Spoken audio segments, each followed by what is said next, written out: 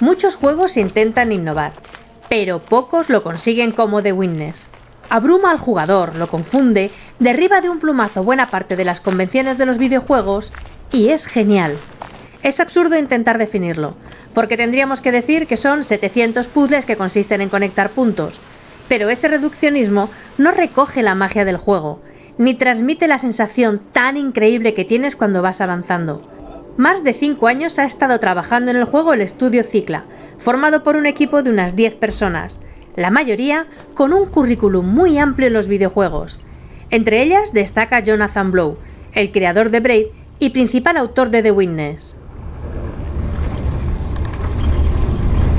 Los primeros pasos en la isla son una especie de tutorial, pero luego el jugador se queda solo ante el peligro y descubre que lo que parecía un desafío sencillo de pronto es incomprensible y se te rompen los esquemas mentales sobre los videojuegos.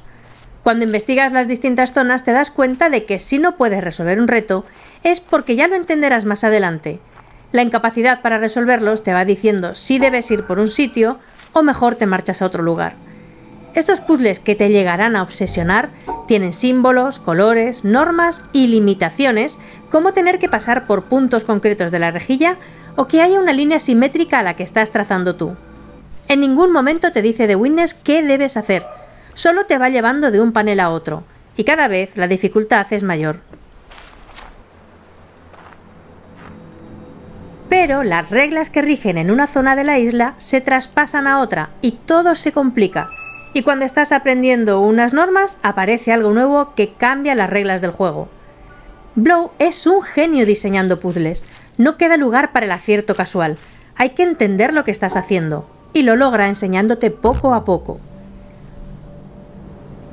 Aparte de los puzzles, la isla de The Witness tiene magia.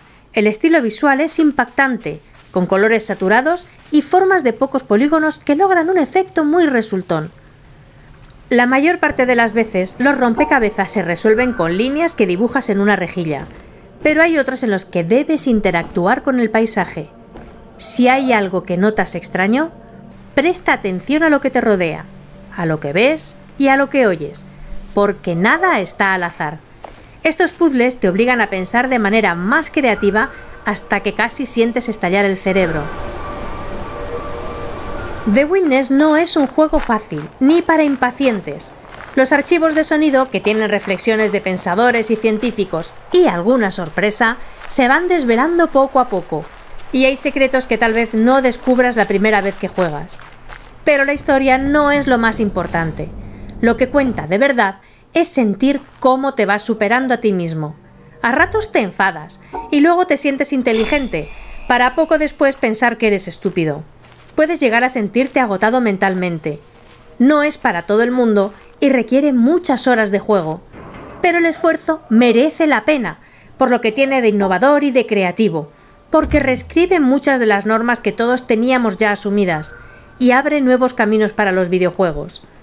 Para algunos está a la altura de Portal y de Talos Principle, y creemos que es acertada esta comparación.